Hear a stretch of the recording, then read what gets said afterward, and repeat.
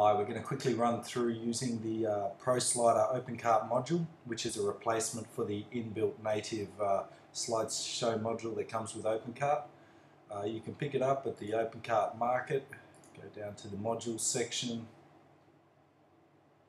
You see it there, ProSlider OpenCart module, brief description, some screenshots, uh, purchase price. Once you've uh, downloaded it, follow the PDF instructions for uploading the module to your OpenCart store.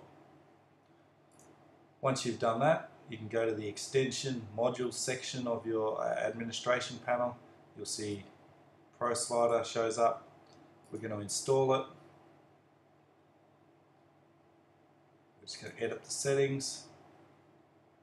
This is the main configuration screen. Uh, we'll go through it quickly title text. If you want, you can have the slideshow wrapped in a box with the title text. We'll just put this at ProSlider for the time being. Uh, we can choose from all these different effects. Uh, we'll go random. A wrap box, this is what I was saying about you can have a box around the slideshow or not. We're going to choose not to have one. Uh, so it's just going to be pure images on their own.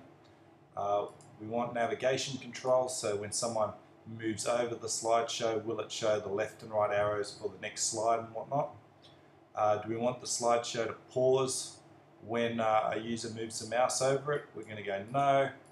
Uh, the width, uh, this will be dependent upon your site, but if you're using the basic uh, OpenCart installation, you can just follow the defaults as they're set there.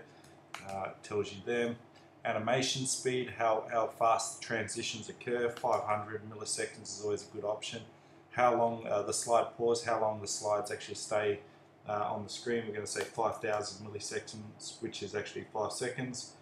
Uh, slices, we're going to say 20. We then drop into the, uh, the images tab and we're just going to add some images here. Uh, if you're familiar with OpenCart, you'll know about how to choose images.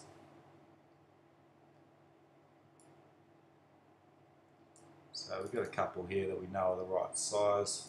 I'm just going to call that slide one. If you want to put a link on that slide, you can. Uh, we're not for the time being. Call this one slide two.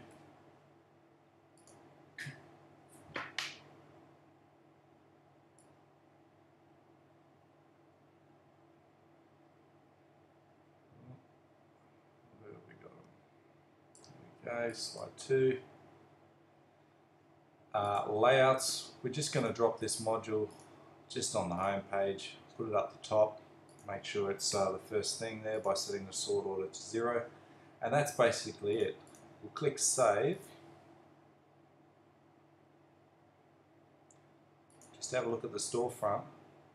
And there we have it. We've got the, the slideshow module working. You can see the controls here. We can flick through.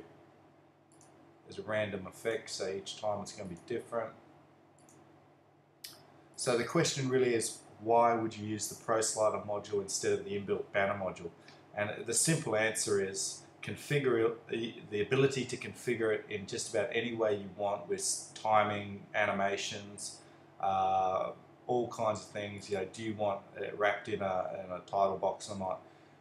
Images, it's all under one. It's all in one place. You're not flicking through system design, banners, layouts, all these kinds of things, and then trying to configure modules to work to display those banners. Uh, it's all in one spot. Your settings, your images, your layouts. It's all just there, ready to go. Bang, bang, bang. It's very easy. And like I said, it's just highly configurable. You can choose any effect, your timings, everything about it is configurable. So that's it. That's the Pro Slider Slideshow OpenCart module.